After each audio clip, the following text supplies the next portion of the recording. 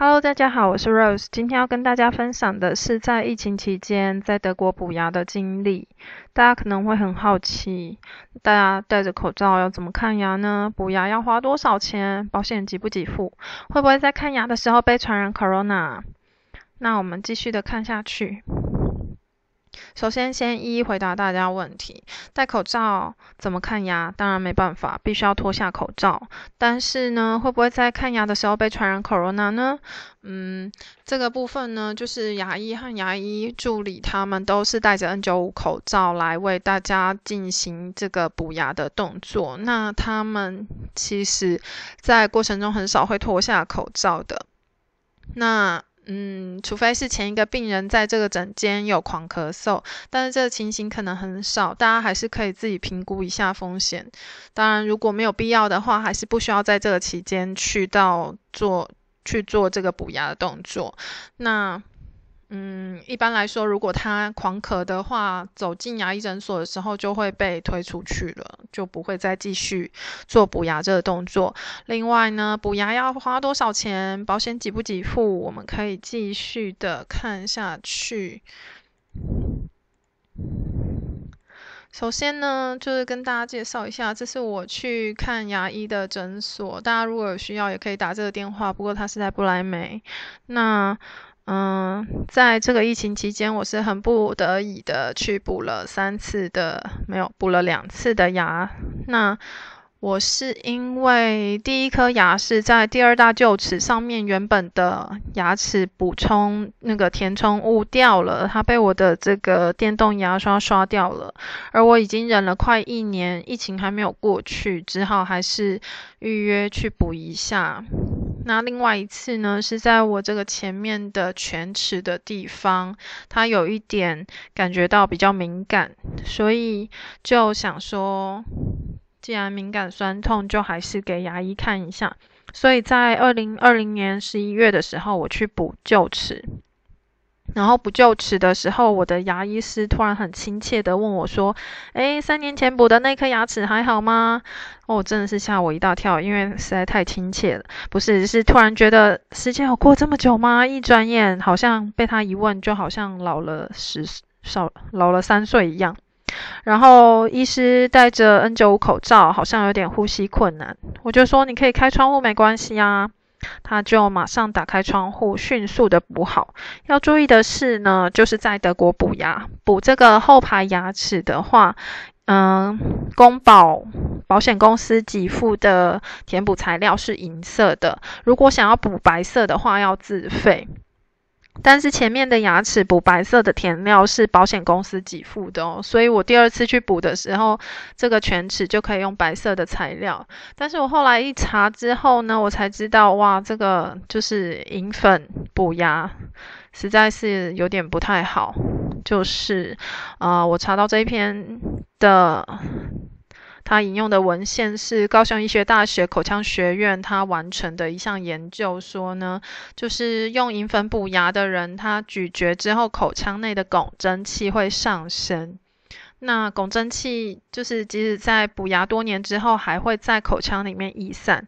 所以他进行这个口腔内汞蒸气的侦测，发现咀嚼前口腔内汞蒸气有四十四点七六 ppm。那咀嚼三十秒之后就升高到六十三点七 ppm，甚至，嗯，甚至有增加，有人增加到一百二十 percent。那根据美国劳工卫呃劳工部下面的职业安全健康署，它的规定呢，就是说劳工工作场所的汞蒸气只要超过五十 ppm，就会有慢性汞中毒的危险。所以。最好减少以供补牙，尤其是儿童、青少年、怀孕、受乳妇人，这更要要避免。所以我之后可能还是回台湾的时候会换一下填料，找我原本的牙医帮我处理一下。难怪我最近都觉得有点嗜睡，然后有的时候又失眠。啊天呐，好，就是跟大家分享一下，大家也可以稍微注意一下。然后如果说你们要自费把这个后面的牙齿从这个银粉改成用白色的填料的话，那你就是也还是要自费大约六十欧左右。那可以先在开始执行补牙这件事情之前，先跟你的牙医师询问好，免得后面才付账单的时候吓一跳。那后来在二零二一年的一月，我又去补了我的敏感牙齿，在这个犬齿的地方，真的是超级不推荐的，因为医生他为了要就是尽快的补好，所以他呃在牙齿的表面呢有一点衔接上的高低衔接不好，就是有点不平，到呃甚至还有一一块凸起物在这个缝。边缝上，到最近就是刷牙的时候，它才自己脱落那个凸起物的部分。那不平的地方，我还在想说，我是不是要自己用锉刀把它磨掉？因为实在不想一直跑去牙医诊所，就是还是会觉得有风险。那我第二次补牙的时候有点惨，遇到新来的牙医助理，那好几次他该要吸口中的积水都没有吸，却好几次。吸到我嘴边的肉有点痛，不过还是很感谢他后来有慢慢的进入状况，不然我就快喝下血水了。这次的麻药呢，麻到了我的眼睛周围，还好我还可以眨眼睛。补完的时候我是满脸都是血，还好这个牙医牙医助理他还有提醒我擦一下再离开，所以还是很感谢他。嗯，所以就是如果大家疫情期间真的有不得已的状况需要去补牙的话，也不要太害怕。嗯，因为他们也是很谨慎的。那接下来跟大家补充几个看牙医的时候会用到的单字。我是在这边德国台湾同学会的这个板上有看到有一些的单字，大家可以去参考看看。然后你打电话去预约的时候，就可以跟他说：“哦，你的 f u l o n 掉啦，还是什么的。”嗯，就是大家稍微先预备一下，然后就可以打电话去预约。再来补充一下，就是如果说是在旅行中，就是你们从台湾来旅行，然后牙齿痛不得已要补牙的话，记得要先跟牙医诊所说一下，因为会需要先自费。